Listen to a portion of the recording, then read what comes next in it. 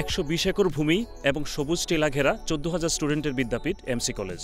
সে আঠারোশো বিরানব্বই সালে দেড়শো বছর আগে শহরের রায়নগরের দানশীল ব্যক্তিত্ব রাজা গিরিশচন্দ্র রায় তার পূর্বপুরুষ মুরারি চাঁদের নামে কলেজটি প্রতিষ্ঠা করেন। ভারতবাগের আগে এটি ছিল কলকাতা বিশ্ববিদ্যালয়ের আওতায়।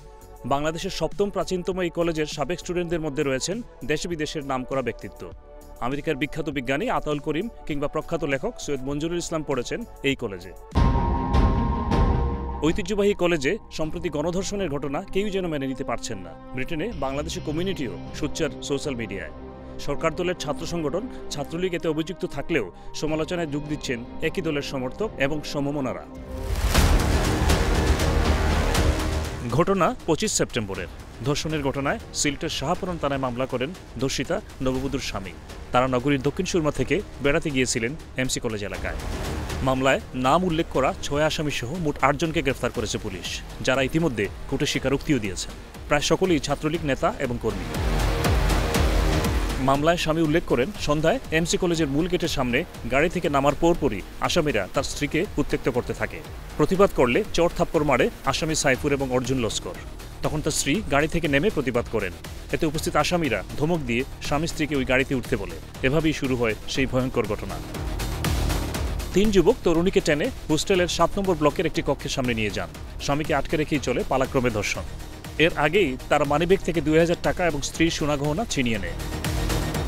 এক পর্যায়ে আসামিরা প্রাইভেট কার রেখে স্ত্রীকে নিয়ে চলে যেতে বলে এবং কার ফেরত নিতে পঞ্চাশ হাজার টাকা দাবি করে। স্ত্রীকে নিয়ে ট্যাক্সি যুগে টিলাগড় পয়েন্টে আসেন বিধ্বস্ত স্বামী।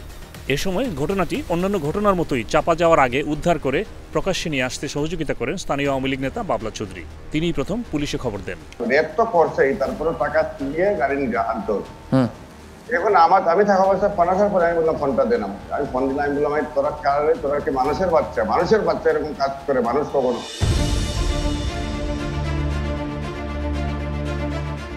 তাদের বিরুদ্ধে কোনো ধরনের কথা বলা যেত না বিশেষ করে এক তারপর প্রেমের প্রস্তাব দিলে যদি তারা না মানতো তাহলে তো আর বলাই লাগে না। রাস্তাঘাটে হোক ক্যাম্পাসে আসলেই হোক আর বাইক তো ছিলই সাথে বাইক নিয়ে হ্যারাস করা তো আরও বেশি সহজ। ক্যাম্পাসে ছাত্রীদেরকে ওরা দেখলে প্রায় সময় উত্তক্ত করতো ওরা রেগুলার ক্লাস করতে পারতো না। বিভিন্ন ধরনের অভিযোগ ওদের বিরুদ্ধে আগেই ছিল। ষাটের দশকে এই হোস্টেলে থেকেছেন professor S B Faruk. British Bangladesh চেম্বারের সাবেক এই চেয়ারের প্রতিক্রিয়া। আমাদের সময় তো আমরা কোনোদিন চিন্তাও করি নাই যে এই ধরনের কোনো ঘটনা ঘটবে। এবং এই যে সাম্প্রতিক করে যে এই ধর্ষণের ঘটনা ঘটলো এটা আমার মনে হয় সিলেট এমসি কলেজ তথা এমসি কলেজ হোস্টেল বা সিলেটের ইতিহাসে স্মরণকালের সর্বঘৃণিত একটা ঘটনা। আশির দশকে এমসি কলেজে জাসদ ছাত্রলীগের প্রেসিডেন্ট ছিলেন বিসি এর সাবেক প্রেসিডেন্ট এম এ মুনিম। এখন লজ্জা হচ্ছে মাথা হ্যাট হচ্ছে মানুষের কাছে একুইএফসি কলেজের ছাত্র বলে পরিচয় দিতে। এদের পেছনে মদতদাতা আছে এটি তাদের শক্তি বললেন এমসি কলেজে চুয়াত্তর আশি সালের ভিপি আব্দুল সত্তার। নিশ্চয়ই এদের পিছনে লোক আছে গঠবাদাররা আছে না হয় এইরকম দাঁড়াইতে পারে না এরা আর একটা ঘটনা করতে পারে। এর আগে এমসি কলেজের ছাত্রী খাদিজাকে রক্তাক্ত করা হোস্টেল পড়ানো এসব ঘটনার উদাহরণ টানলেন মুক্তিযুদ্ধকালীন এই কমান্ডার। আমার খবরটা শোনার পরে আমি এত মর্মাহত আহত এবং লজ্জিত। আমি এটা বিশ্বাস করতে পারি নাই যে এই আমাদের সিলেটের মতো জায়গায়, সিলেট এমসি কলেজে এইরকম ঘটনা।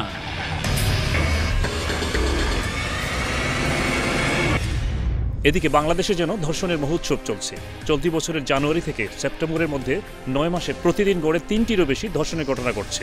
এ পর্যন্ত চলতি বছরে ধর্ষণের শিকার নয়শো পঁচাত্তর জন নারী। এর মধ্যে গণধর্ষণের শিকার দুশো জন হত্যার শিকার তেতাল্লিশ জন এবং আত্মহত্যা করেছেন বারো জন।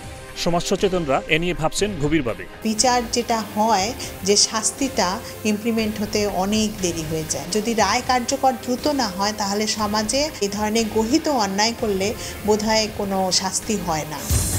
দ্রুত শাস্তি নিশ্চিত করতে হবে অর্থদণ্ড দিতে হবে সেই অর্থটা আপনার ধর্ষিতাকে বা ভিকটিমকে দিতে হবে। তাহলে সে কিন্তু একটা পুনর্বাসনের সুযোগ পাবে সামাজিক নিরাপত্তা পাবে। দাবি উঠেছে দর্শনের শাস্তি, মৃত্যুদণ্ড। আইনমন্ত্রী দিয়েছেন ইতিবাচক ইঙ্গিত। প্রধানমন্ত্রীর অবস্থানও ইতিবাচক বলে জানা গেছে। জনগণ যখন দাবি তুলেছে, এই দাবির পরিপ্রেক্ষিতে আমরা এটা বিবেচনা করব যে শাস্তি বাড়ানো যায় কিনা। অতি সম্প্রতি সিলেট নগরীর দাঁড়িয়ে পাড়ায় ষষ্ঠ শ্রেণির এক স্কুল ছাত্রীও দর্শিত হয়েছে। এতে অভিযুক্ত ছাত্রলীগ কর্মী।